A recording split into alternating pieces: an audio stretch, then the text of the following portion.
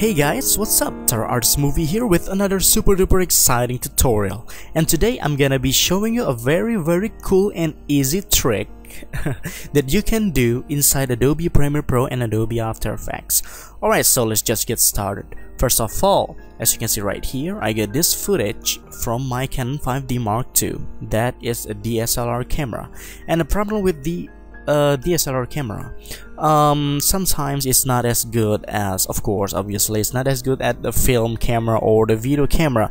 So basically the HDR stuff is not as wide as video camera and sometimes uh, you know you get this problem uh, when you know the the highlight is too bright or washed out or on my case right here it's too dark. As you can see here um, the background is too dark and uh, yeah it's not looks so beautiful. Now to fix that inside Premiere Pro or After Effects you can go to the left side here for, for Premiere Pro. I'm using Premiere Pro right now by the way.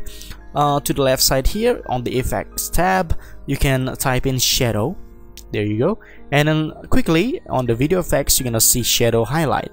This is the effect. Just click and drag it to your video I already have it here and uh, I'm gonna be showing you here. This is the before footage and this is after you add the um, effect. Look at that. Look at the details on the trees. So this is before too dark and after.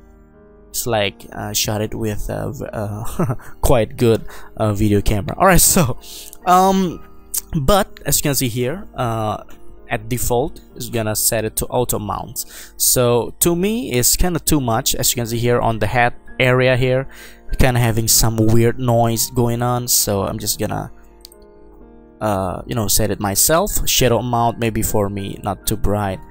Uh, this is the original footage. I'm just gonna punch it to around 30 that should do fine. By the way if you have some, uh, for my case here I got some too dark you know uh, video uh, footage. So you're gonna play with the shadow amount. If you kinda if you having some you know washed out image with with too bright or whatever you can play with the highlight amount.